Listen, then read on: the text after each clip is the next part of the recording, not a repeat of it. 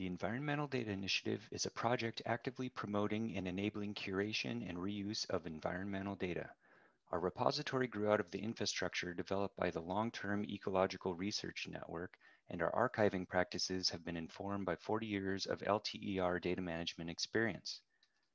Our team consists of highly motivated and experienced data practitioners, software developers, and research scientists, and we're listening to the growing community of data creators and users to refine the services we offer. We satisfy DataCite standards and are working towards Core Trust Seal approval. We participate in development of data principles and adopt their recommendations. Data packages support the open and reproducible research increasingly expected by the scientific discipline, and best practice guides, tooling, and one-on-one support help users package their data for archive.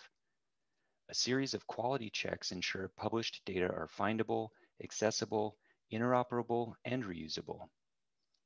Publishing in the EDI data repository is currently free of cost. Our repository holds a diverse collection of data, more than 99% of which are openly accessible and downloadable. Data are findable in the EDI, DataONE, and Google Dataset search engines. Scripts that import data into common languages are available for each data package, thus enabling a deeper understanding beyond the metadata alone. Data packages can be downloaded interactively through our data portal or programmatically through our API. Event notifications enable automated scientific workflows. Personalized data catalogs are simple to create and maintain.